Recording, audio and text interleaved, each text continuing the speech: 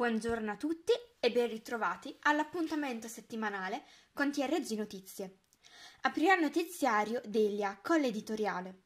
Faranno seguito la lettura del calendario liturgico, gli avvisi della parrocchia, dell'oratorio e quelli di pubblica utilità. Per la rubrica Un santo al giorno, oggi conosceremo Santa Maria Maddalena dei Pazzi. Per Giardino e Orto Sempreverde, questa settimana si propone la menta, pianticella dall'inconfondibile sapore fresco e profumato. E al termine del notiziario potrete seguire un documentario dal titolo Il pastore e la montagna. Buongiorno e buona domenica a tutti.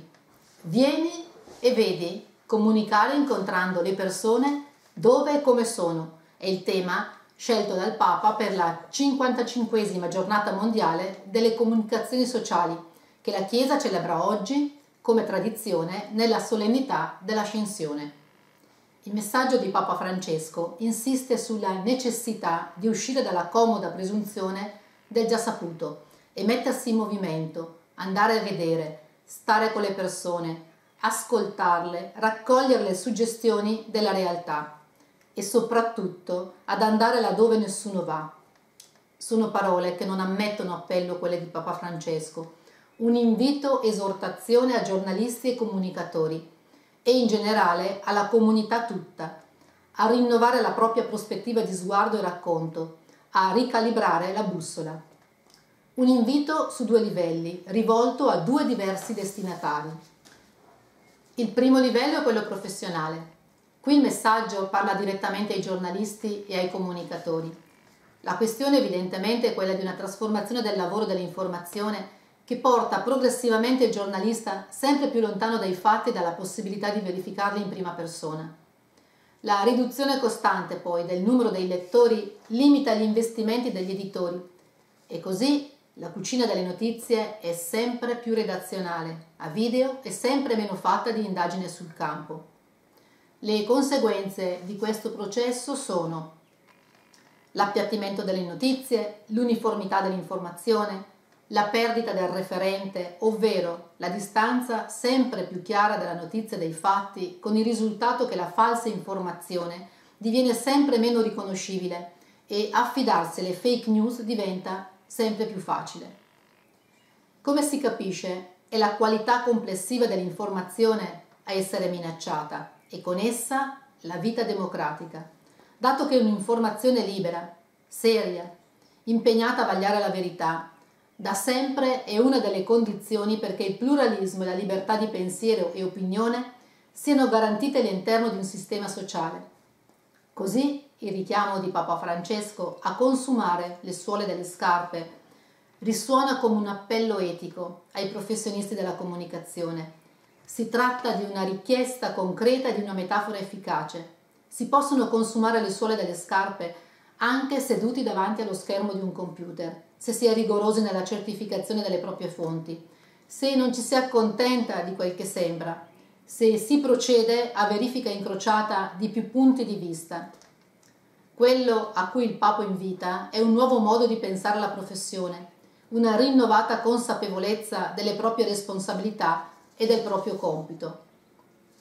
Il secondo livello è quello esistenziale. Non sono i giornalisti destinatari in questo caso, ma ogni uomo e donna credente. Il richiamo venire a vedere qui serve a distinguere la comunicazione in senso profondo dalla semplice interazione. La nostra giornata, soprattutto in questi mesi di vita sugli schermi, è fitta di interazioni mediate dalla posta elettronica, dalle piattaforme di videocomunicazione, dalla messaggistica e dalle telefonate. Sono interazioni che svolgono bene la loro funzione, ci consentono di lavorare, di trasmetterci informazioni, di rimanere in contatto e svolgere i nostri compiti. Tuttavia, la percezione è che la comunicazione abbia bisogno di altro. Essa non è scambio, ma incontro, cioè esperienza. Due gli aspetti su cui riflettere. Anzitutto occorre non confondere la logica dell'incontro con la comunicazione in presenza, identificando nella comunicazione a distanza il venir meno della possibilità dell'incontro. La possibilità che il venire e vedere sia un'esperienza dipende dall'intenzionalità e dalla disposizione del cuore. Non c'entra la mediazione tecnologica. In secondo luogo, il vivere la comunicazione come incontro e come esperienza richiama direttamente la logica della testimonianza, che può essere assunta come il punto di approdo di tutto il messaggio. Per il cristiano, comunicare significa essere testimone, ovvero essere occasione per gli altri di un incontro e di un'esperienza. Nel messaggio ritorna il riferimento della buona novella del Vangelo che ricade oggi, ogni qualvolta, dice Papa Francesco, riceviamo la testimonianza limpida di persone la cui vita è stata cambiata dall'incontro con Gesù. Si tratta di persone che hanno accettato lo stesso invito, vieni e vedi, e sono rimaste colpite da un di più di umanità che traspariva in chi testimoniava Gesù. Quel grande comunicatore che si chiamava Paolo di Tarso, immagina il Papa, si sarebbe certamente servito della posta elettronica e dei messaggi social, ma furono la sua fede, la sua speranza e la sua carità a impressionare i contemporanei che lo sentirono predicare e anche quando non poteva essere incontrato di persona, il suo modo di vivere in Cristo era testimoniato dai discepoli che inviava. Da qui la sfida che ci attende, quella, osserva Francesco, di comunicare incontrando le persone dove e come sono. In modo poi inedito rispetto ai suoi precedenti testi per questa giornata, il Papa conclude con una preghiera. Signore, insegnaci a uscire da noi stessi e a incamminarci alla ricerca della verità insegnaci ad andare e vedere, insegnaci ad ascoltare e non coltivare pregiudizi, a non trarre conclusioni affrettate. Insegnaci ad andare là dove nessuno non vuole andare, a prenderci il tempo per capire, a porre attenzione all'essenziale, a non farci distrarre dal superfluo, a distinguere l'apparenza ingannevole dalla verità Donaci la grazia di riconoscere le tue dimore nel mondo e l'onestà di raccontare ciò che abbiamo visto. Oggi, domenica 16 maggio, Ascensione del Signore, alle ore 18.30 in parrocchiale, Santa Messa per i defunti, Fezzardi Aristide ed Esterina, Zanardelli Emilia e Trappa Carlo. Lunedì 17 maggio in oratorio alle ore 8 Santa Messa pro Populo. Alle ore 18.30 Santa Messa per la defunta Beatrice.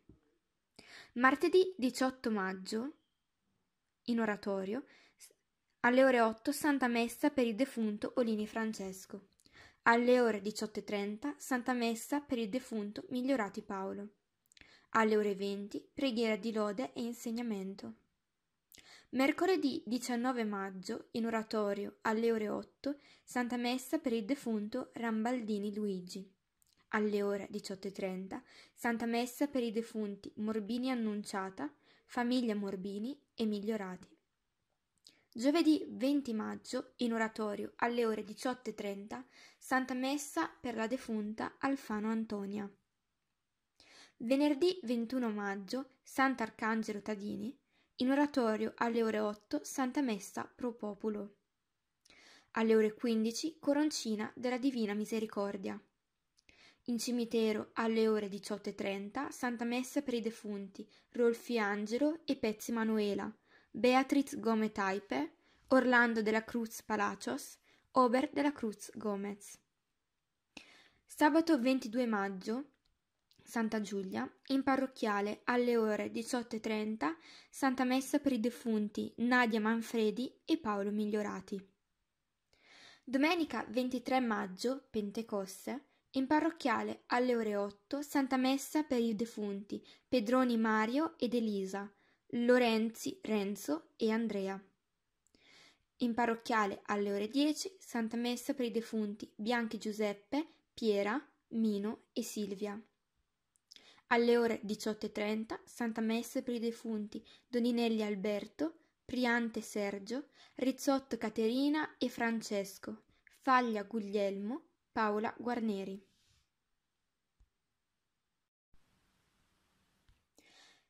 Il bar apre venerdì dalle ore 20 alle ore 22, il sabato dalle ore 14 alle ore 18 e dalle 20 alle 22. La domenica invece dalle ore 11 alle ore 12 e dalle ore 14 alle ore 22. La distribuzione è ai tavoli sotto il portico come da normativa. Per il cortile dell'oratorio invece dal martedì al venerdì alle ore 15 alle ore 18, il venerdì dalle ore 20 alle ore 22, il sabato dalle ore 14 alle ore 18 e dalle ore 20 alle ore 22. La domenica invece dalle ore 11 alle ore 12 e dalle ore 14 alle ore 22. Il lunedì è chiuso. Per il campo sintetico le prenotazioni al numero e i minori che vogliono giocare nel campo sintetico dell'oratorio è consentito però devono prestare l'autorizzazione firmata dai genitori per un minimo di 6 persone. Per le proposte estive il GRES avverrà dal 28 giugno al 23 di luglio, mentre dal 1 all'8 di agosto ci sarà un campo giovani in montagna. Dal 9 al 15 di agosto Giovani in cammino, zaino in spalla. La riunione sarà il 20 maggio alle ore 20 e 15. Per il mese di maggio i giorni feriali di preghiera del Santo Rosario alle ore 7.30 e alle ore 18 nella chiesetta dell'oratorio. Per quanto riguarda la campagna vaccinazione anti-Covid-19, in, dai 40 ai 49 anni la prenotazione può avvenire dal 20 di maggio. Per quanto riguarda la fascia d'età dai 30 ai 39 anni, la prenotazione è dal 27 di maggio. Dai 20 ai 29 anni la prenotazione è dal 2 di giugno, mentre dai 16 ai 19 anni la prenotazione è dal 2 di giugno.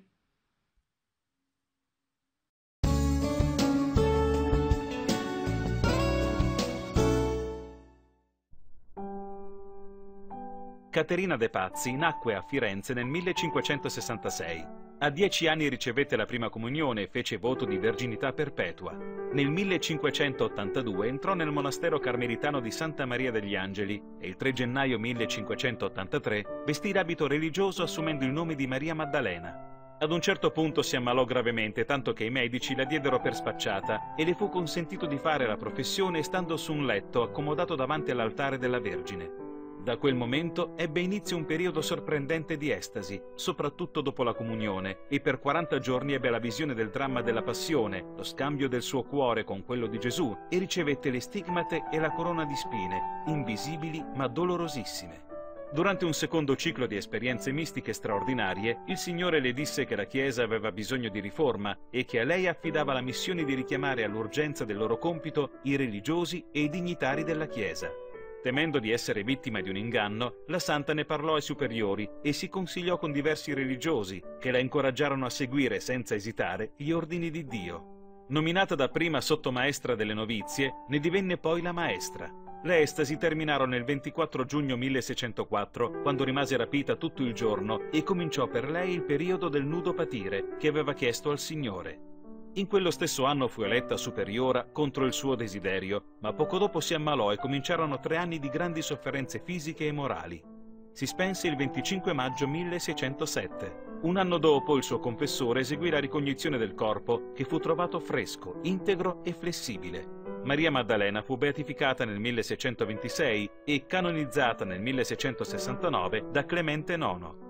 Le relazioni delle sue estasi, che riempiono cinque libri, confermano il grande influsso dottrinale che la santa esercitò nella spiritualità e nella pietà, specialmente in Italia, da dove il suo culto si estese in tutta Europa.